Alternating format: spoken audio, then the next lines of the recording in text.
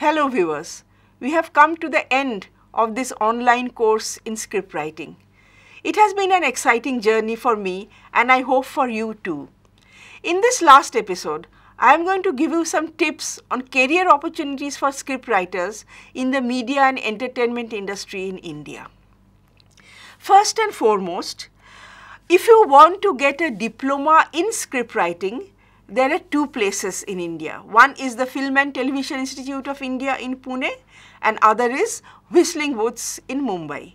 Both these institutes run exclusive courses in script writing. So, we, you can get yourself enrolled and you can get a diploma in script writing.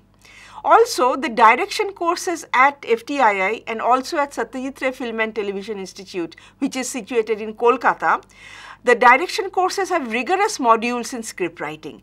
Although the diploma will be in direction, but then you will also learn a lot of script writing if you join these courses in, in the direction course at these institutes. The question is that is it necessary or is it important to get a diploma in script writing in order to get a foothold in the industry? I would say that in today's scenario, it is. This particular course that you are doing, this is a certificate course, this is not a diploma course, whereas the institutes will give you a proper diploma. So, that will definitely have a lot of weightage. And while you are doing the course, uh, you will meet a lot of uh, senior script writers, you will be able to network with them and then some of them might give you the first break of your career, who knows. So, the networking is also as important as learning the ropes of uh, script writing.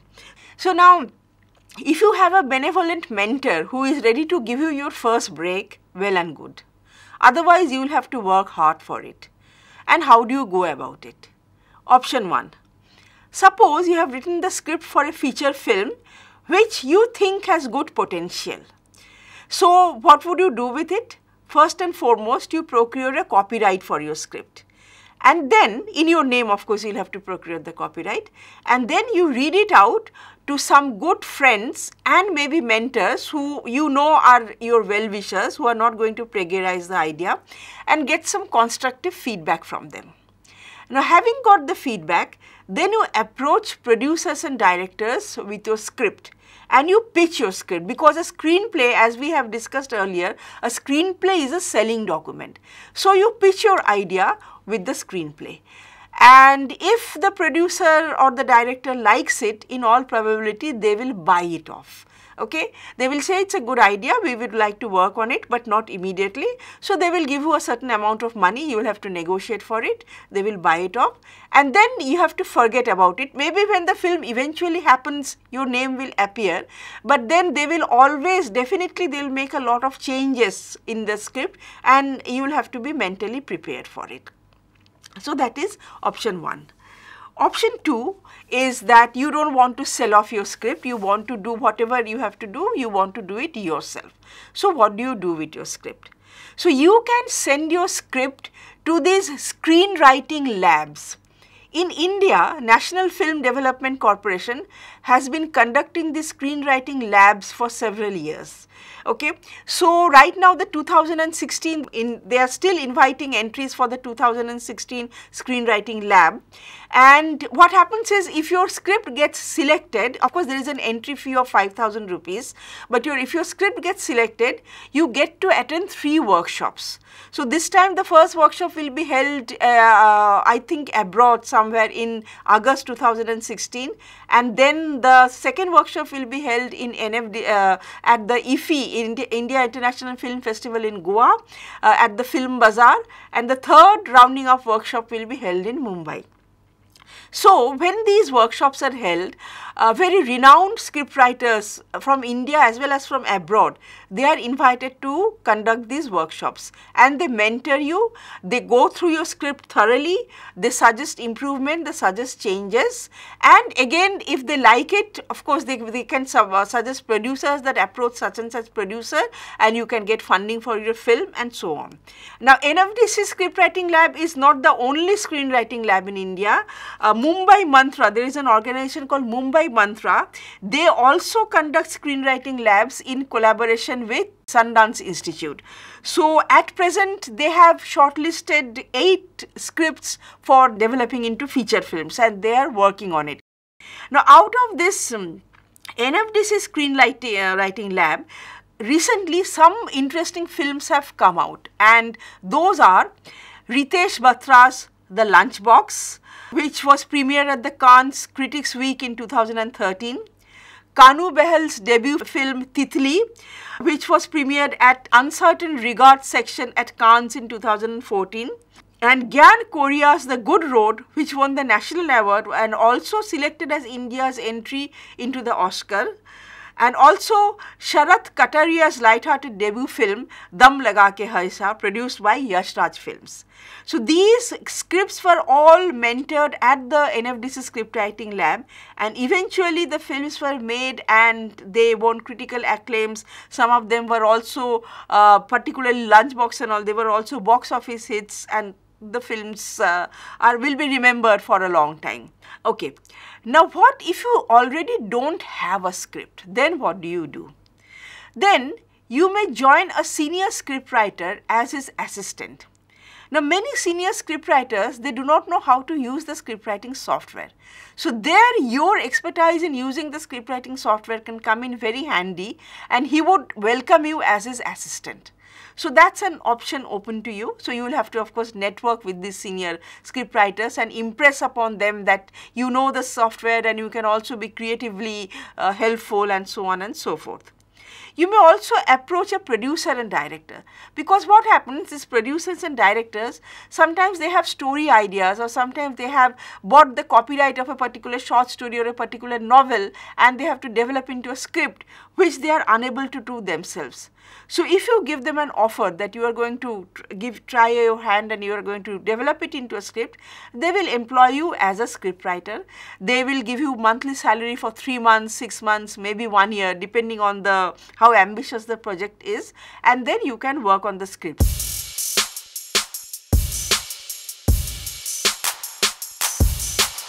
Now, feature films are not the only options. What if you don't want to do a feature film? Then what are the career options open to you in the industry? Now, all kinds of films require scripts. So, let us discuss them one by one. Number one is advertisements. Now, advertisements have to be rigorously scripted and storyboarded. Okay. Now, who writes the script for the advertisements? Basically, it's the ad agency the scripts for advertisements are not written by the production house that produces the advertising film, but by the ad agency uh, which uh, actually uh, develops the script. All right. So, if you like this writing scripts for the short films at, at films and public service spots, I would suggest that you give that copy test for any of the ad agencies that I like uh, uh, O&M is there, then uh, Lintas is there, and there, there are so many other renowned ad agencies, McCann Erickson is there. So you can give the copy test, and if you pass the copy test, then you will be inducted into the creative department of the ad agency. You can also serve as an intern. You can offer your services as an intern. So for two to three months, you will have to work free, but you will uh, get a lot of exposure into how this industry works and you will get a lot of hands-on experience that will come in handy. And if they find that you really have talent in writing, they will eventually maybe after 6 months they will uh, absorb you as their copywriter in the creative department and you will get a chance to write the scripts for advertisements. So that's how the advertising industry works. Corporate films. Corporate films are the bread and butter of many uh, filmmakers, including some of the renowned filmmakers because the feature films come you know in between say one feature film is made after every 2 to 3 years or maybe 5 years gap. So what does the filmmaker do in the in between time? He makes either ad films or corporate films and all these big corporates they have enough funding and they always want their a film made on them. So therefore they are ready to invest. So you can join a freelance director who is into making corporate films or you can join a production house that makes corporate films and you can offer your services as a scriptwriter. So as a scriptwriter for corporate films, naturally you will have to do the research, you will have to go and meet the relevant people, take their interviews, gather the data, dig into the archival material, from there you get information and then you take the brief from the from your client what exactly they want uh, to be conveyed or communicated in their film. And then from there you uh, taking all the brief and getting all the material you write the script of the corporate film. What, what are the other options? Educational films. Now you might be knowing that at least in the big cities, many schools have converted into smart schools. That means their classrooms are smart classrooms, which means that the classrooms have smart boards. Now, smart board means that the teacher uses uh, that audiovisual facility to teach. Now, the teacher may herself develop the audiovisual material or usually the teacher is too hard pressed for time. So, she falls back on uh, audiovisual material that is already there. So, you can step in there. So, you can make small audiovisual, uh, small films on uh, the curricular subjects, you know, shoot with a handycam or shoot with your DSLR camera and you write a voiceover, put in some text, do some diagrams, do some small simple animations and you can make short videos on the curricular material, at least the key curricular material and then you can always sell them. Then the other career option is NGOs the big NGOs have their own audiovisual unit and you can join their audiovisual unit as the researcher and scriptwriter. And the other NGOs, they are always eager to get some film made on their work. So, you can al always offer your services at a not very high price, something affordable price and you can write the script and then eventually make the film, make a team around yourself and you make the film.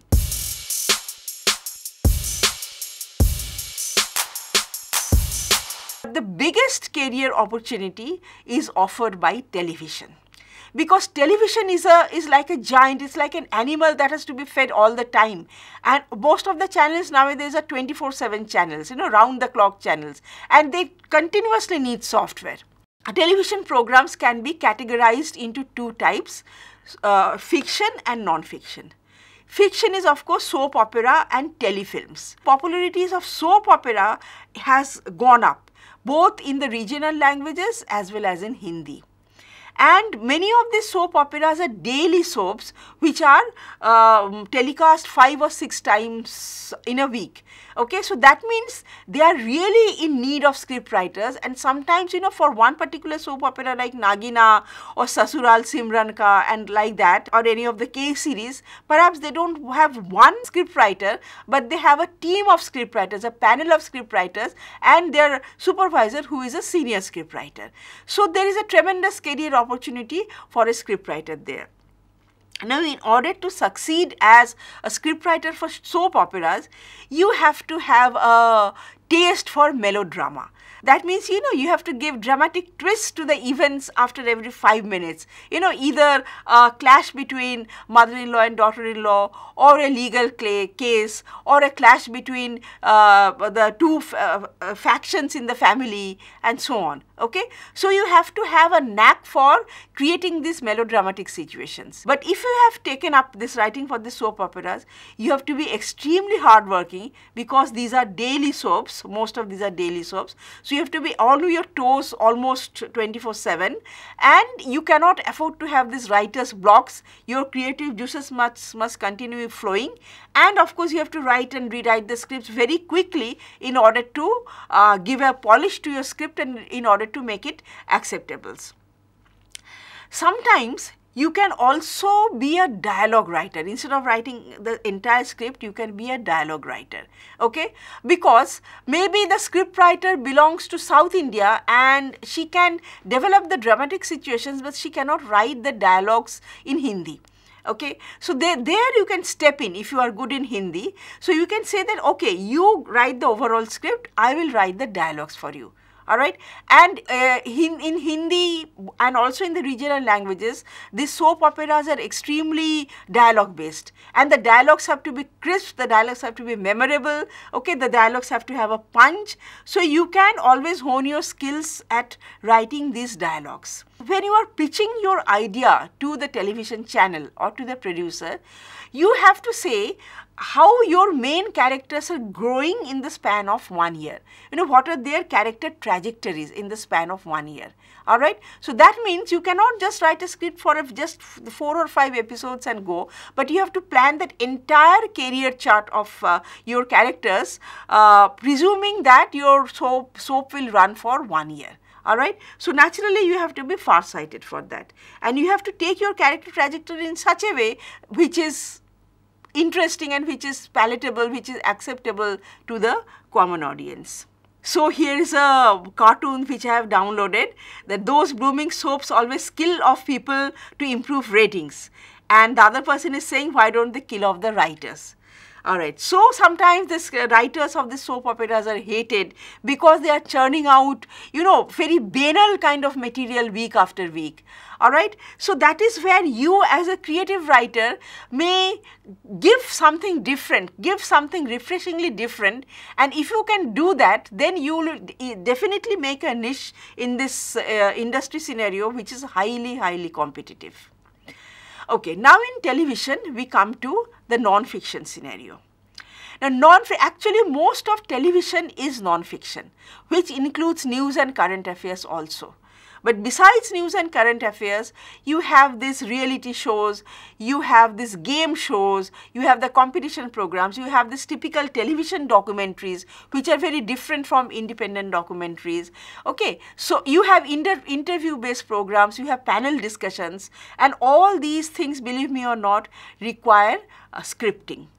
So, in the non-fiction scenario, you can write episodic scripts which means that you structure a particular episode how what will be the various fragments various segments in that particular episode. You decide on that. All right? You write the voiceover scripts and you also write the anchor links now anchor links are very interesting things Say for example Javed Jafri, I don't know how many of you remember Javed Jafri when MTV first started, Javed Jafri was one of the very favorite anchors. Now, Javed Jafri's lines, whatever lines he said, the funny lines were not written by him. Okay, those were written by a script writer and she was paid highly at that time in the 80s, I'm saying early 90s, not 80s, early 90s. She was paid a very handsome amount for writing uh, the script of Javed Jafri, that is the anchor lines of Javed Jafri for each episode okay and so you have to have that that kind of a knack of writing those lines you know give a understand the personality of the person who is going to say those lines and write accordingly with it's, it's of course not going to be very formal. It's going to be informal. It's going to be pedestrian sometimes but it's going to be memorable. All right so, writing anchor links is an interesting option. Voiceover scripts, of course, you know, uh, a documentary kind of segment where you have to explain the visuals or, you know, um, uh, enrich the visual, reinforce the visuals which a voiceover. So, a script writer is required. Uh, so, these are the various uh, options for uh, non-fiction, any other non-fiction program. For reality shows, now reality shows like Indian Idol, normally they have two teams. One team is called the production team and the other team is called the reality team. Now the production team writer can write the pointers for the judges, the anchors and the contestants. You know, we often say when we watch uh, Indian Idol, we often say that these judges, they are fighting among themselves or they are saying things to the uh, contestant. These must be scripted. Okay, this in there in the fight between the judges must be scripted. To some extent, it's correct okay because that fight between the judges uh, are the winning points that that will bring up the ratings of the program.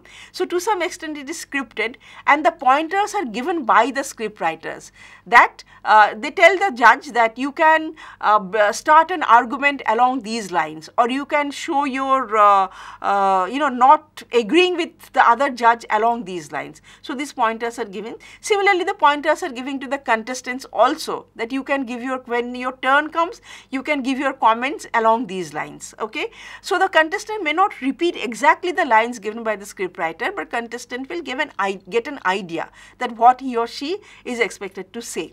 Okay, so these are that is the script those are the scripting options for the production team.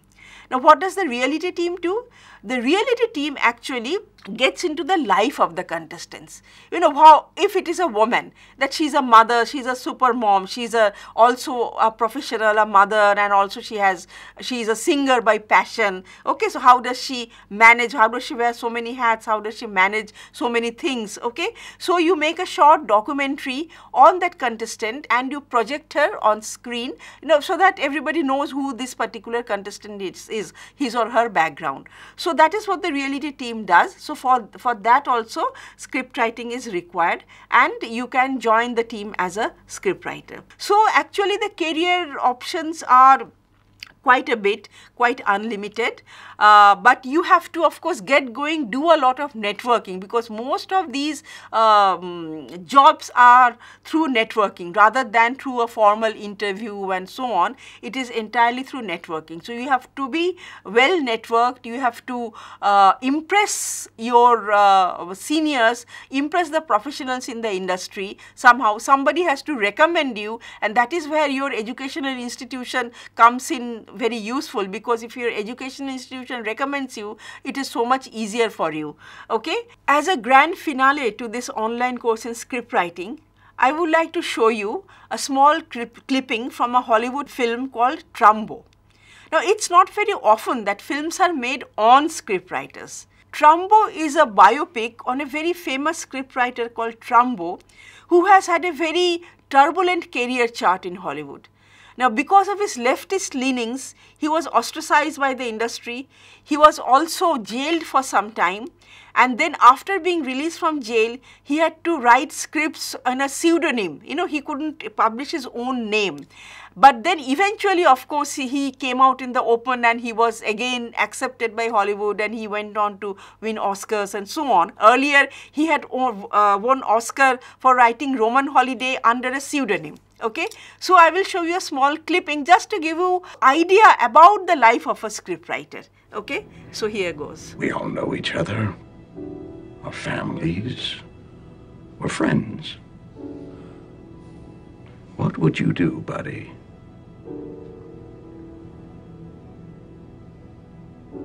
Only you. Piss on the best day of a guy's life. Only you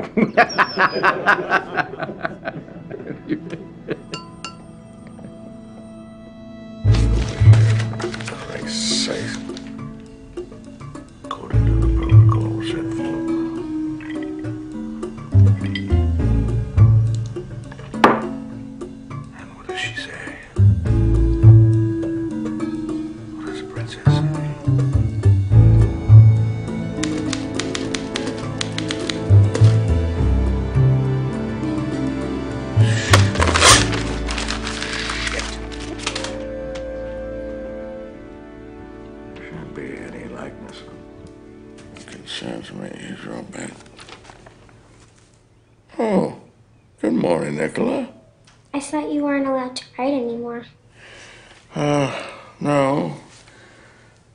just not allowed to put my name on it.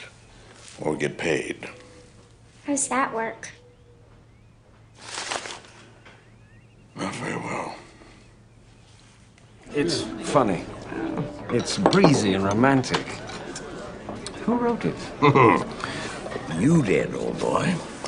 You stick your name on my labor, hand it into your studio, and we're in business.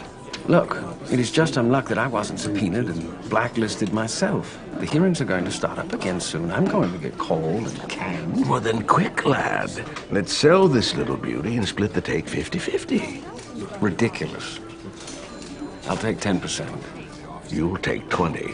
No, 30. And that's my final offer. You're the worst businessman ever. Hmm. I hate the title. Me too. Really, what's wrong with it? The Princess and the Peasant. Yes. Please, Trumbo, it sounds like a puppet show. Well, then change it. I did. Really? You think this title's better? Roman Holiday. I like it. Who invited you? I did. She's my favorite trombone. I'm introducing Yeah. legislation. So that was in it. the event of a That he wrote on a pseudonym and won an Oscar for the script of Roman. Holiday. And the president supports it. So a scriptwriter has to face many things. So that would be all for today. That will be all for this course. Thank you very much. We are there for you. Whenever you need help, you can always knock at our door. You can always send mails to us. Thank you very much.